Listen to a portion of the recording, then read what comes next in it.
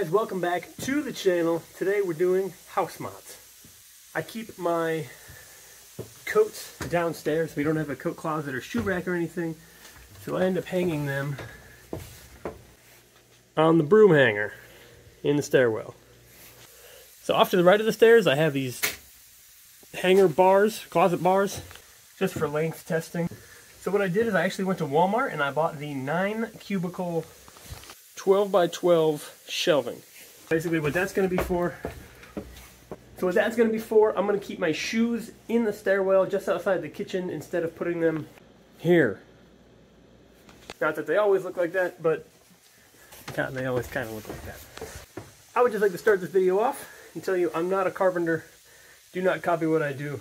I just want to share what I'm trying to do here. So we're going to go ahead we're going to make this area more usable. So making pretty quick work, what I did was I brought the lightweight jack down from the garage and a broken 2x4 that I usually use to put the Z on the trailer with. And we have the cubicle in place, which is pretty sweet. Um, over behind the box is actually kind of not in the most useful position. So maybe down the road we'll cut that one off. Um, recently I installed the shelf down here for holiday storage bins. That could work, you just pull this one out before that one, but maybe we'll just maybe we'll just have to cut that one. I don't know. But what we're going to do now is I'm going to actually get a level. I'm going to level out these. And I think I actually have to the natural gas that goes up to the stove is actually lower than the floorboards. So what I'm going to do is probably mark out on the shelving where the natural gas line is and then just notch it for the gas line because it's a cheap Walmart shelf. So might as well make it fit right and not disconnect the gas line. So quick update here. I mentioned we might actually notch the shoe rack and not move the gas line. I came up with another solution. I found this board in the garage. I cut it in half. Basically, it makes a gap right where the gas line is and uh, leaves me with a flat surface to mount to. I could have notched that, but I used my Christmas tree saw because I'm not a carpenter. I'm hot and sweaty. However, we got we got the shelves mounted up. There are two screws per cubicle. It is flush with the board we added. And it is flush with that post. So now I'm going to put some screws into this beam to hold it this way. And then it's still just flimsy particle board, so I'm going to actually build some legs for it to hold up the bottom of it. And I'll show you that in a minute.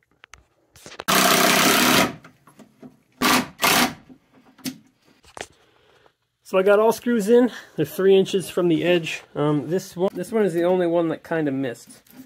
Um, the rest of them, rest of them were all set. I wanted to keep it uniform because even though they're not the prettiest things in the world, at least they're in a straight line. So that concludes part one of this project.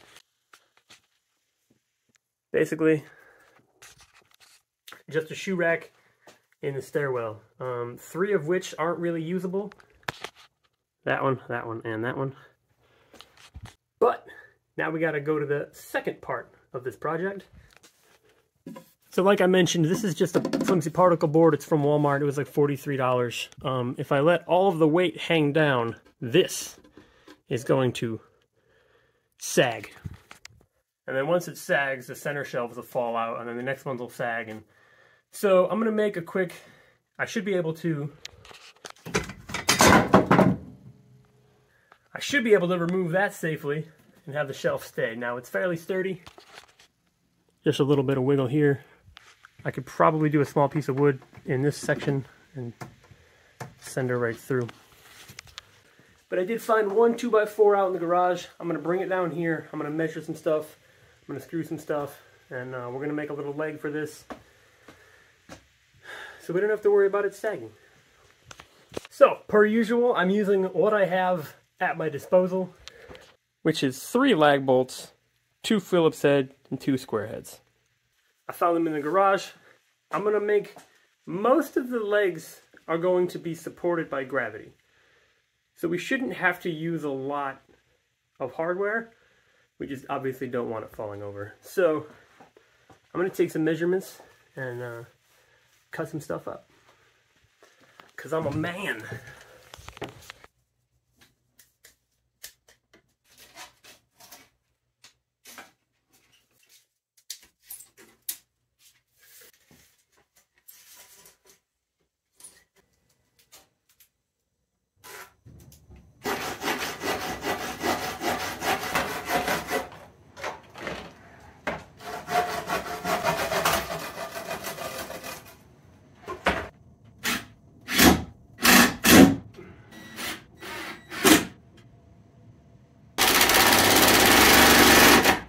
So I've got the bottom board attached loosely.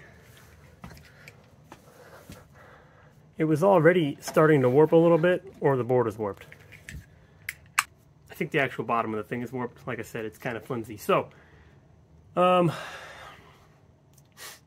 next plan of action here, and we do a leg from the bottom of that to the floor, and then in kind of like a triangle motion, I'm going to build a little block right here on the end at an angle.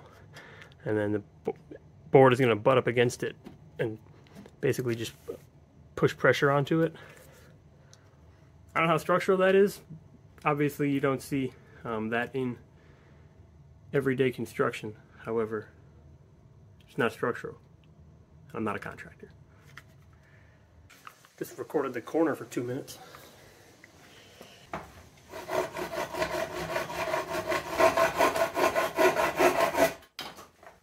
That's the angle that's going to be at. Now I just need to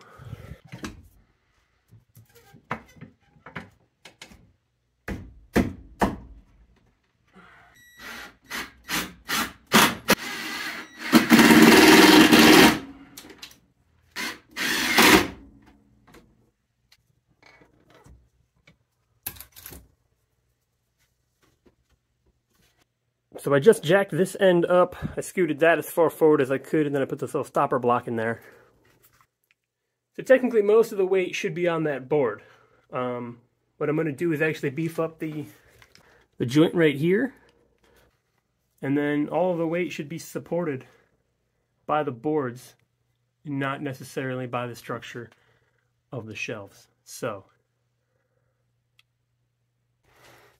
also just noticed that's the original screw line. And it's a tad more off than I had originally thought.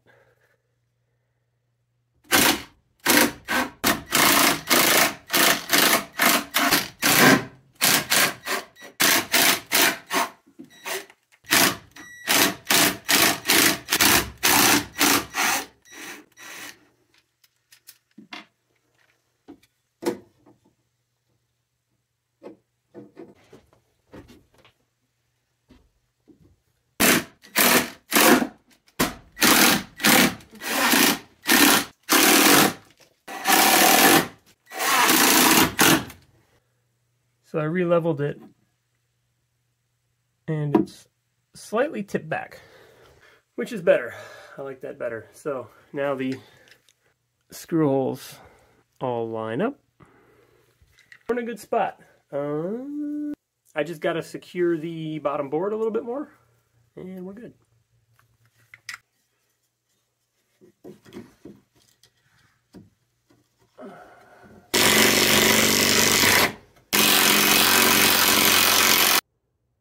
So guys, here is the finished product. A couple of my shoes on there. It's tall enough to hold boots.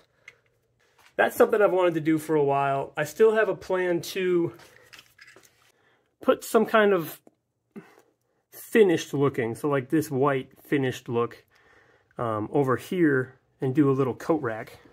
This bar, the bar in there is a curtain rod from when we moved into the house. Uh, I'm to go ahead, I'm to get some coat hangers, we're gonna hang our jackets on that just for the time being, see how they look.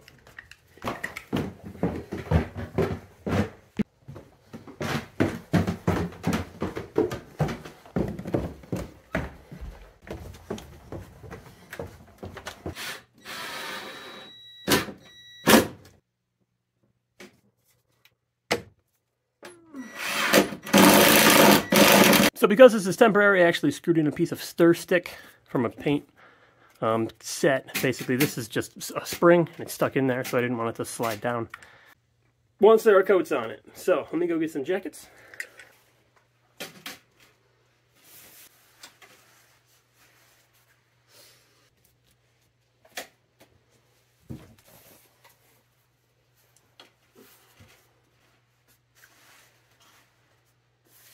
So here's the final product. We've got the shoe rack here, as you can see. If I want to keep my shoes the boxes on the bottom below an extra pair of shoes, I certainly can. It's not like the most shoe storage in the world, but at least it gets it out of the kitchen and they're not too far from the from the kitchen door where we usually leave them. My coat rack. My coat rack is improvised. I don't like that it necessarily sticks out when you're going down the stairs. So as you're coming down,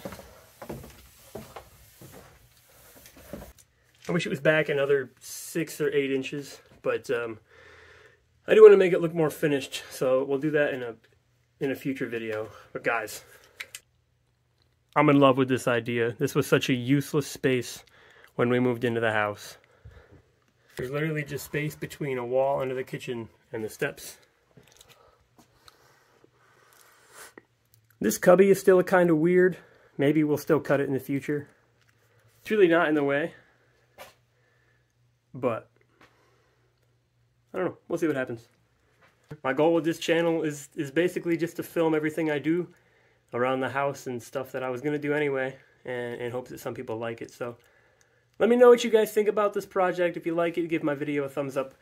Super helpful. Last I checked, we are up to 58 subscribers, which is a whopping 20 more than I've had the last 10 years. So there's one last look for you guys. If you've done anything like this in your house, let me know. Maybe I could try to work something in like that. But overall, I think a couple little finishing panels. And we've got ourselves a super usable stairwell now. So have a good one, guys. Like, comment, subscribe. Stay tuned for more content, and I'll catch you later.